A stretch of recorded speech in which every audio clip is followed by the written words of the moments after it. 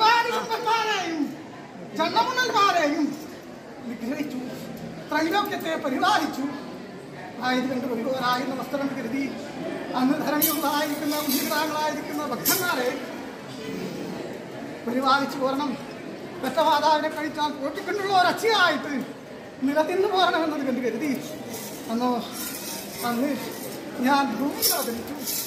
അന്ന് അനേക സ്ഥലങ്ങളിൽ നിലയുറപ്പിച്ചു പോരുന്നതായ എന്നിരിക്കുന്നതായ ആ ദീപം ഞാൻ നിറയപ്പനിയെ കണ്ടുവല്ലോ അന്നോ ആയത് കണ്ട് രണ്ട് വിരട്ടും ഒറ്റകത്ത് എന്റെ അമ്മ വിരട്ടും ഭവതി എന്നിരിക്കുന്നതായ അനുഭവത്തിങ്കൽ ശേഷിപ്പെട്ടു അന്ന് ഒരു കൊടിയിലേക്ക് സ്ഥലം ചോദിച്ചു അന്ന് തന്നില്ല എന്റെ അമ്മ വിരട്ടും ഭവതി അന്നോ അന്ന് മുഴുവി ശേഷിച്ചു. അല്ലേ?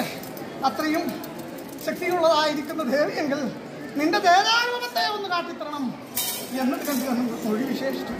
അന്ന് ഭൂമി തൊട്ട് ആകാശത്തോളം ആകാശം തൊട്ട് ഭൂമിയോളം ഉള്ളതായിരിക്കുന്ന ദേവാനുഭവത്തെ കാട്ടിക്കൊടുത്തു.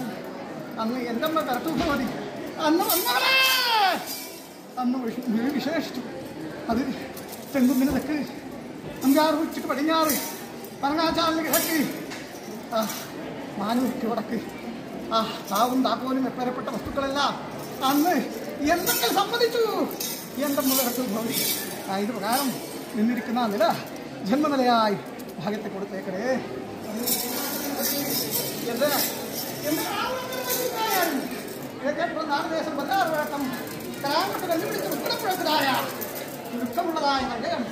എന്റെ ഗ്രാമത്തിലും മൈസൂരിലായാലും ഇന്നിരിക്കുന്ന നില